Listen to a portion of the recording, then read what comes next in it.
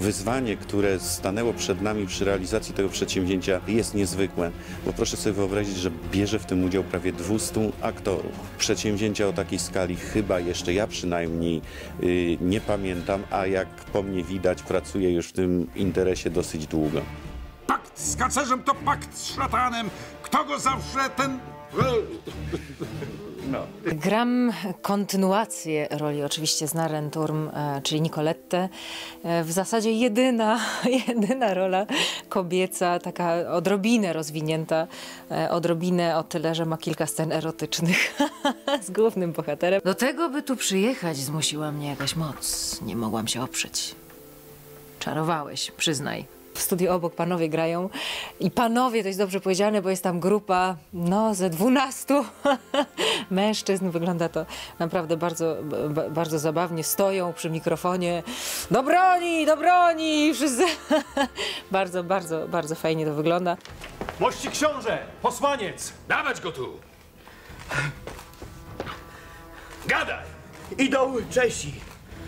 Idą wielką siłą. Wszystko palą. Ozobłoga spalona.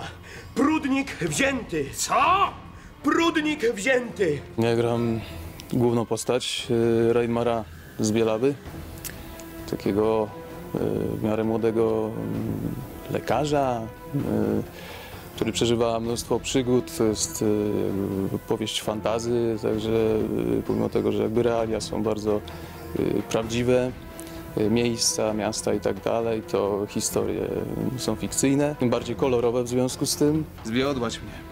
Zwiodłaś Bibersteina, zwiodłaś wszystkich. Zwodziłam, bo musiałam. Mam przyjemność grać Bolka Wołoszka. Pracuje się fantastycznie, dlatego że zarówno literatura jest niezwykle ciekawa, no jak i to jest też rzadka sposobność, żeby w jednym miejscu spotkać tak wspaniałych kolegów, mm, aktorów, mistrzów słowa. No i to jest wielka przyjemność pracować w reżyserii, czy pod y, bacznym okiem i uchem pana Janusza Kukuły. Gotowy pan? Tak, proszę, akcja. Proszę bardzo, od biegnięcia, proszę. Od czasów Sienkiewicza w literaturze polskiej nie było powieści czy cyklu powieściowego, który z takim rozmachem, z taką ilością bohaterów, z taką ilością y, elementów historii włączanych w, w narrację mm, opowiada o historii. Dla mnie jest to połączenie Sienkiewicza z Tolkienem. Bóg skaże tych, co się z kacerzami znosili, co z nimi paktowali. Ja już się nie mogę doczekać, jak to będzie wyglądało.